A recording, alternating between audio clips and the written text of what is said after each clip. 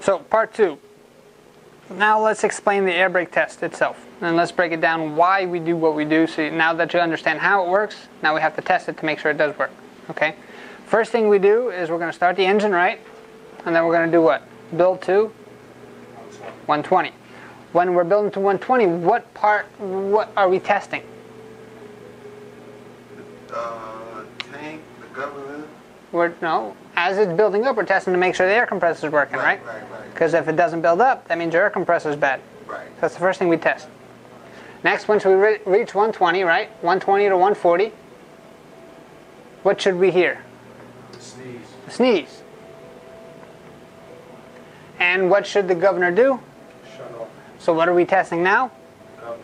The governor. Make sure that the governor's working. So at 120, we make sure that the governor's working. Okay. Now, how do we know that the governor is not working? Won't build air pressure or it won't shut off. It won't shut off. So what? How would we know if it won't shut off? Won't, uh, won't hear its. No. Too much air pressure. So, knowing you guys being, say you guys were designers of this system, you guys know that it is possible that a governor can go bad, yes? Would you want the air compressor to constantly keep pumping air until the air tank blew up? No. That's why you hear this sneeze, right? What is the sneeze for? To release the air. To release the air. So once it gets to a certain pr- pressure, it just releases the air. So, is the air pressure ever on your air gauge ever going to go higher than 120 to 140? No. no. So how do you know if the air compressor, or if the governor is not working? I hear air coming out. If you constantly hear the Air. sneeze. So if every 10 seconds you hear another sneeze, that means that what never shut off? Compressor, which means what's not working? Governor. Governor. So that's the second thing that we test, right? First, building up, air compressor. Next, sneeze, governor. Now, what do we do? We're going to shut the shut the truck off. Why do we do that? So the compressor won't be running. So the compressor won't be running. Now, let me guys, let me ask you this. If I give you guys a deflated balloon, what's the only way you guys can see if there's a hole if you put if there's a hole in there? Put air in it. That's how I want you guys to think about this chamber. So over here we have two separate balloons that are deflated that have no air in them, right? If have you guys ever been? Have you guys have seen the fun houses or those bouncy houses, right? Mm-hmm. How do they stay inflated? What's constantly blowing? A fan, right? Some something's constantly blowing air into there. Is the air always escaping? Yes. Yeah. As soon as you unplug the fan, what happens? You see all the holes, and they all start are still going down. But even though there's a whole bunch of holes in there, as long as the fan's going on, it's still going to stay rising. Same thing happens if we keep the air compressor on. So if there's holes or leaks inside the air brake system, the air compressor is going to cover them up because we won't see them on the gauge because the gauge will never drop. Does that make sense? So that's why you actually have to shut the truck off to make sure the air compressor's off. So and then we can make sure everything is getting tested properly. So when there's no air in the compressor, the needle drops, correct? No.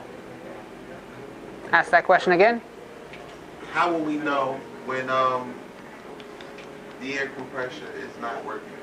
If the air pressure never drop, if the air, air pressure never increases, Or if it never increases? the only job of the air, air compressor is to do what? Fill it up. That's it. So if you're giving a gas, giving a gas, but it never goes up, you have a, bad air compressor. Right. Okay. So, um, what are we're going to do now, we're going to put it in first gear, right? Or we're going to check the wheels if it's an automatic truck, so make sure it's not going to roll. Because now we have to push in those two parking brakes. So we're going to push in the, the octagon and the yellow diamond. Okay, yellow first, red second. We're going to push them in one at a time. What's going to happen? Air is going to leave the tanks and it's going to go into all the brake chambers. Which brake chambers are going to go into? The service or the emergency? The emergency side. Okay, so you're going to push in both brakes, and because this has to do with the emergency side, it's going to fill this empty balloon with air. Yes? So now that now the fact air is leaving the tank, going into your chamber, are we going to lose air pressure here? Yes. Yes, because it, this only reads the Tank. tank.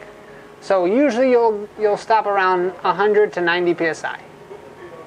So you'll lose uh, a good amount of pressure, but it's going into the system.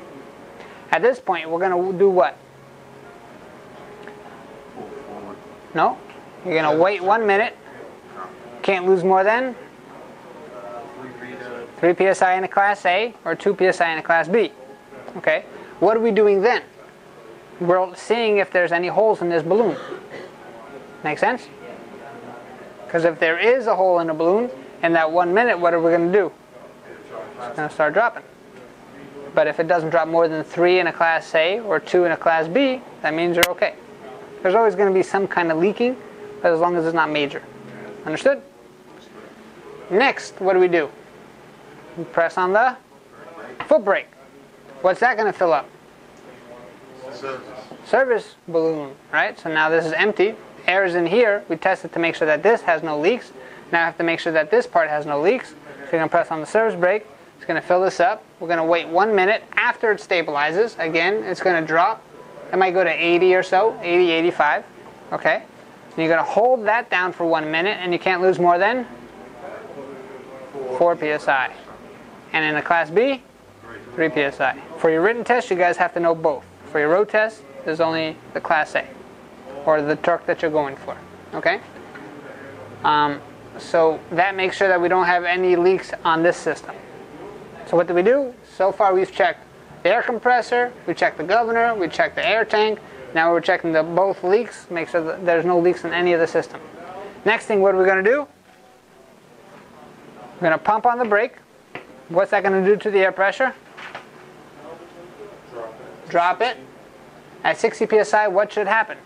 Pressure. Warning light and pressure should go on. If it doesn't, that, that means it's not working correctly, right? And then if what are we going to continue to do?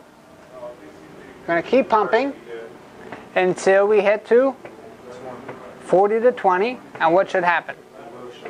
Wheel should lock and these parking brakes should pop up automatically. Okay? That will show you that the springs are working correctly. That none of your springs are broken and everything's working okay. Because imagine being in an emergency and not being able to stop. Having no air, not being able to stop at the same time, no good. Because even if you try to hit the brakes, you got no air to put inside this chamber, so you can't stop. Make sense? Okay. And that's pretty much why we do the air brake test. How often should we do the air brake test? Every day. Now, how many people actually do an air brake test every day? Maybe once you get your license, about 90% to 95% don't do an air brake test every day. Yes. They taking chances like that? Oh yeah. Mhm. Wow. Is it only on pre-trip, not post-trip? Or if you test the air brake, it's supposed to be just pre-trip? Yeah, pre-trip is good enough because as you're going through the road, you kind of you'll you'll see if you're paying attention to your gauge, you'll see if there's a major leak that happens as you're going through. hmm Um, but let's kind of put it all together in a story for you so it all sticks. Say uh, you're going to work, now you have your CDL, you have uh, your job already, you got into a fight with your significant other, uh, she's nagging you over something, and then you really messed up. You're not you're not thinking straight. So you don't do the pre-trip. You say, "F it, I'm already late. She made me late. I'm coming into work." So you get into the truck, you start it up, and you go. You put the music on loud because you're a little depressed, so you're trying to relax. Now you didn't do an air brake test, so you don't know if any of this stuff is working. So you come to find out that you have an air leak, but you don't know. You're not paying attention. You're just looking at the traffic and you're listening to music, and your head is occupied. So now you're coming down Route 109, two o'clock, rush hour traffic, whatever it is, right? and then you're pressing on the brake because there's a lot of stops and goes, stop and go, right? Now what's going to happen? Air pressure is going to lose. Say you have a leak, you're going to press on the brake a lot, so you're going to lose even faster. You're getting a 60 psi. What should happen? One light and buzzer should come on, but it doesn't because it's not working, and you never found out because you didn't do the test. So now you're in Elizabeth, New Jersey, in the middle lane, and you keep pumping on the brake until you get to 40 to 20. What's all going to happen automatically? Locks. So now you're stuck in the middle lane on Route 109 during rush hour in Elizabeth, New Jersey. You're gonna make a whole lot of friends that way. All right. So, moral of the story: do your brake test. Don't argue with your significant other.